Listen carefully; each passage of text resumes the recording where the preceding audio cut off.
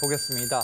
인도에서 일어난 일이에요. 예, 지난달 24일에 인도의 카슈미르 지역 좀 외신에 관심 있으신 분은 이 이름을 좀 들어보셨을 거예요. 예. 파키스탄하고 인도하고 접경 지역인데 군사적 긴장감이 굉장히 강한 지역입니다. 그렇죠. 거기에 인도 쪽에 어, 비둘기 한 마리가 가정집에 드나드는 것 때문에 긴장관계가 더 높아졌다고 합니다. 이 평화의 상징인데 왜 비둘기가 날아들었는지 긴장관계가 높아졌냐면 이 비둘기 스파이 혐의를 받아서 경찰에 체포됐답니다. 아니 어떻게 비둘기가 스파이 혐의를 받습니까? 현재 언론에서는 암호가 써진 비둘기가 지금 카투아 지역에서 발견돼서 구금돼서 조사받고 있다라고 이제 보도가 나왔는데 경찰 관계자 이야기는 이 비둘기의 양쪽 다리에 고리가 달려 있는데 한쪽에 몇 개의 숫자가 있다라는 겁니다. 이것이 어떤 암호처럼 이제 추정이 된다라는 상황이기 때문에 이걸 예. 발견한 주민이 아 이거 이상하다 뭔가 암호인 것 같다 경찰에 신고를 했습니다. 자, 이 숫자가 적힌 고리를 매달고 있었기 때문에 스파이로 의심을 받았다. 음. 가능한 이야기입니까? 어, 현실적으로 가능합니다. 가능하다. 어, 요즘이야 뭐 전화를 하고 되- 하면 되고 옛날에는 예. 모르스부호가 있었는데 그 전에는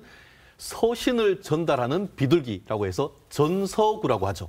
그것이 이제 그 비둘기의 특성상 이른바 집으로 돌아가려고 하는 귀소 본능이 있기 때문에 그것을 훈련을 시킬 경우에는 이와 같은 그 스파이로도 되는데요. 예. 실제로 그 2차 대전까지도 사실 통신 오- 감청이 있을 수가 있으니까 오히려 비둘기 같은 어떤 살아있는 생명을 전함으로써 어떻게 보면 기밀을 유지했는데 이번 같은 경우에도 우연하게 잡힌 것이 파키스탄하고 인도의 접경 분정 지역인 예. 카슈미르다 보니까 거기에 알 수 없는 번호가 적혀 있다 보니까 결국 이 부분이 스파이 비둘기가 아닌가 이렇게 하고 있는데 진실은 아직도 뭔지 모르겠습니다. 그, 그만큼 민감한 지역이었다는 건데 그런데 이런 일이 처음이 아니었다고 그래요. 15년 뒤에도 국경 지역에서 비둘기 한 마리가 발견이 됐는데 아예 쪽지를 매달고 있었습니다. 우르도하고 전화번호로 추정되는 이제 숫자가 적혀 있었던 것으로 알려지고 있는데 이 비둘기 역시 스파이 혐의로 구금돼서 조사받은 전력이 있습니다. 자, 그러면은 이 비둘기 어떻게 조사를 해야 돼요? 뭐 진술을 받을 수는 없죠, 당연히. 그렇죠. 혹시라도 이 세장이 가두는 상황에서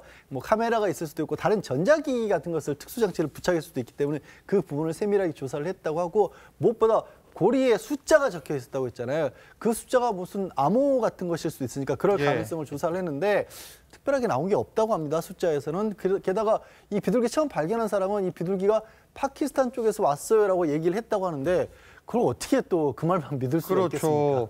이게 뭐 전화번호일 가능성은 없습니까 혹시? 어, 그 사실 그 서울 같은 경우에는 예. 공이 뭐 이렇게 해서 아마 이- 인도에 쓰는 전화번호와 파키스탄에 쓰는 전화번호가 다를 텐데 어, 그 그쪽 지역 같은 경우에는 이게 우리 집 그 비둘기다라고 하기 위해서 주인의 전화번호를 써놓는 그런 가능성도 있다고 하는데요. 예. 그러다 보니까 그게 단순한 그런 소유자임을 알리는 것인지 아니면 말씀드린 것처럼 스파이처럼 특별한 어떤 모습 부호를 넣는 예. 것인지는 아직은 그 모르고 있는데 그렇죠.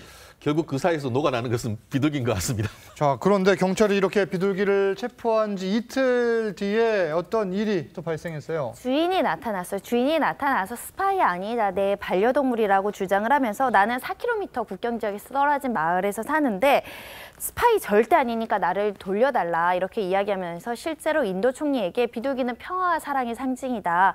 비둘기를 제발 돌려주십시오 하면서 요청을 했다라고 합니다. 그러면 주인도 있는 비둘기가 왜 인도까지 날아온 겁니까? 어, 인도 이 파키스탄의 이 남성 같은 경우는 비둘기 애호가라고 합니다. 한 10여 마리 넘게 키웠었고 이슬람 신도 모양이에요. 라마단 축제 때 이 비둘기를 날려보내는 행사, 우리로 치면 방생 같은 그런 걸 했는데 예. 이게 지금 날려 날아왔던 거고 거기에 달려 있는 숫자도 수상한 게 아니라 자기 전화번호라고 주장을 했습니다.